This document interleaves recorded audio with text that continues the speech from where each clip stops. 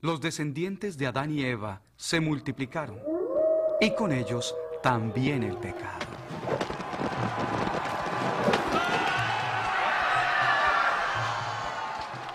La tierra se llenó de maldad, y Dios estaba afligido.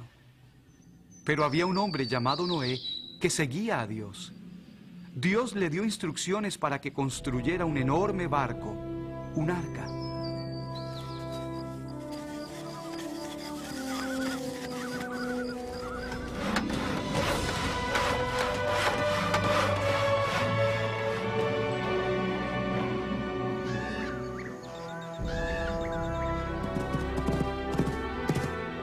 Dios mandó que entraran al arca un macho y una hembra de cada tipo de animal.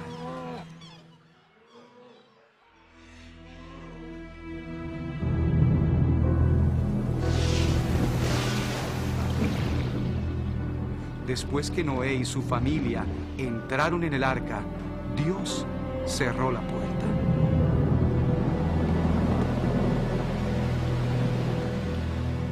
Dios hizo que lloviera por 40 días y 40 noches.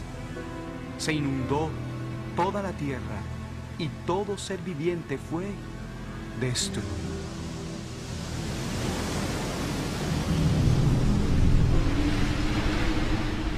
Durante 150 días el agua cubrió la tierra, pero Noé, su familia y los animales estaban a salvo en el arca. Cuando por fin el agua descendió, el arca se detuvo sobre una montaña y los animales desembarcaron. Así fue como Noé y su familia escaparon del juicio de Dios sobre la maldad del mundo. No porque no tenían pecado, más bien porque creyeron a Dios. Y Dios bendijo a Noé y sus hijos y les dijo que procrearan y se multiplicaran y llenaran la tierra.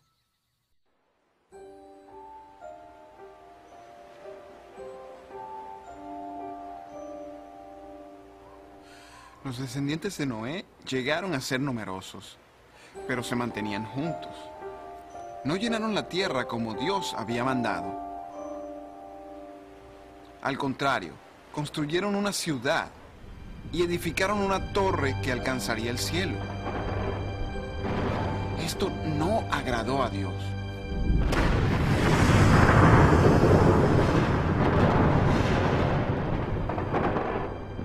Así que Dios confundió su lengua. De pronto hubo por lo menos 70 grupos de personas que no se entendían entre sí. Y Dios dispersó los grupos por toda la tierra. De esta manera comenzaron los idiomas y las naciones del mundo.